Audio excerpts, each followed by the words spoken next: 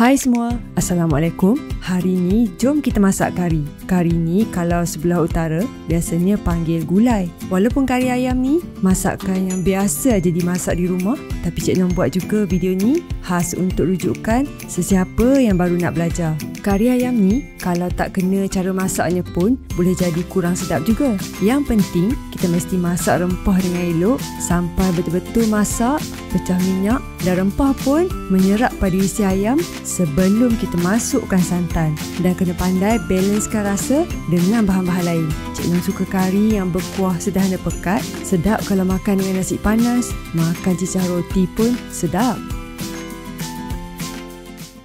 Okey, jom sedia bahan dulu. Satu biji bawang besar. Hiris nipis. Ni cik nak guna bawang merah besar ataupun red onion. Kalau guna bawang holland pun, ah, sedap juga. Kentang, tiga biji. Cik nak dah kupas. Potong dua ke ataupun potong kepada tiga. Tengoklah saiz kentang. Kalau kecil sangat potong, nanti hancurlah pula waktu kita masak kan. Halia satu inci. Ni Cik Nam hiris nipis dulu sebab nanti nak tumbuk.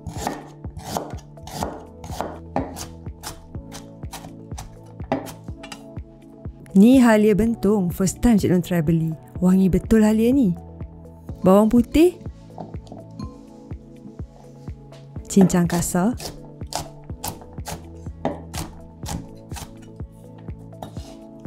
Dan bawang merah kecil Cik Nur nak tumbuk sekali dengan halia tadi.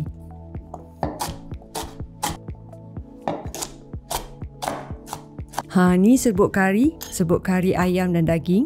Anggaran dalam 5 sudu besar makan yang agak-agak menimbul macam ni.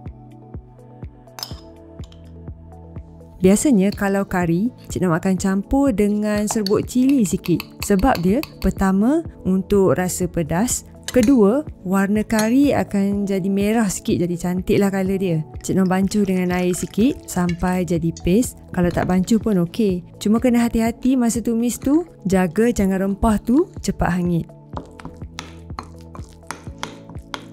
Asam jawa, kalau guna yang ada biji, kena bancuh air sikit supaya jadi paste. Ni asam jawa kampung yang ada biji.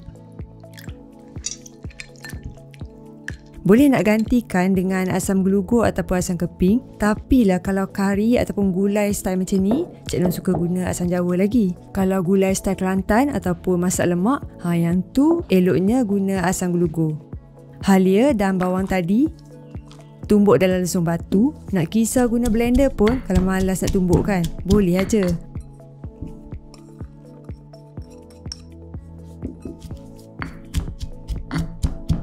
Dah agak halus macam ni, ha, kira okey lah. Okey sekarang, jom tumis. Bila minyak dah panas, masukkan rempah empat sekawan. Nak tahu apa bahan empat sekawan tu, tengok description, okey? Hirisan bawang besar. Nak menumis rempah, kena ingat ya, kuali kena guna jenis yang tebal. Rempah akan masak sekata je dan taklah cepat hangit. Kalau hangit tu nanti pahit. Okey, bila bawang besar dah layu, layu je tau, jangan garing. Bila layu, bawang akan jadi hancur dan manis dalam kuah nanti. Okey, masuk bahan tumbuk tadi. Kacau sampai kekuningan dan naik bau. Satu lagi bahan nak bagi naik bau kari. Ha, daun kari lah, apa lagi kan? Ataupun orang utara panggil daun karapole. Bila dah masuk, ha, terus naik bau dia. Tumis pula bancuhan rempah. Kacau sampai pecah minyak dan garing.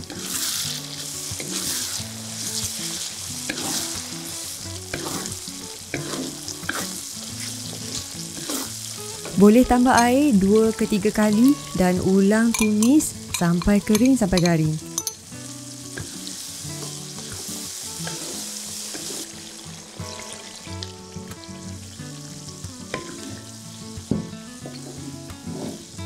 Ha, Okey dah elok masak rempah ni yang melekat dekat dasar kuali ni yang sedap bila jadi kuah nanti. Bukan hangit tapi lebih kurang macam kerak lah sikit. Masukkan ayam.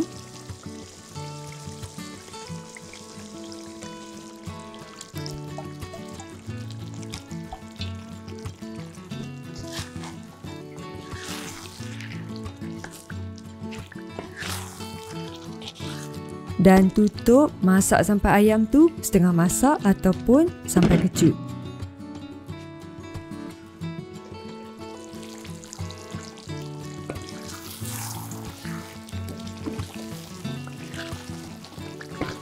Okey, lepas dah kecut, barulah Cik Noh masukkan ubi kentang.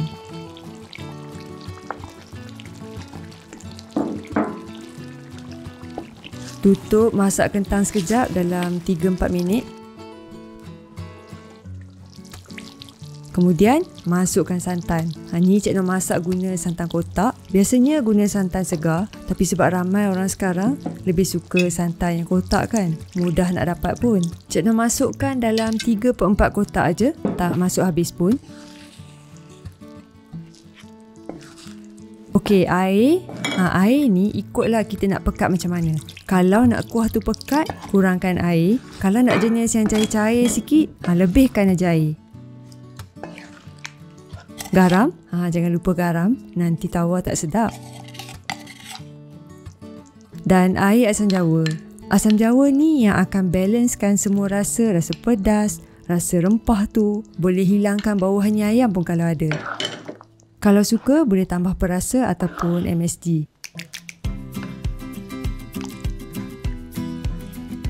Kuah kari ayam memang Cik Nong suka yang pekat macam ni dan pekat tu daripada bawang yang kita tumis dan juga bancuhan rempah. Okey, bila dah siap, ha, boleh dah hidang. Kalau panas, makan dengan nasi. Kalau ada ulam ke, sama belacan ke, memang terbaik. Kari ni seeloknya masak awal-awal pagi, bagi dia rehat sekejap, biar sebati rasa. Ha, nanti lunch nak makan, barulah terangkat rasa. Okey, sekian dari Cik Enom untuk kali ini. Selamat mencuba.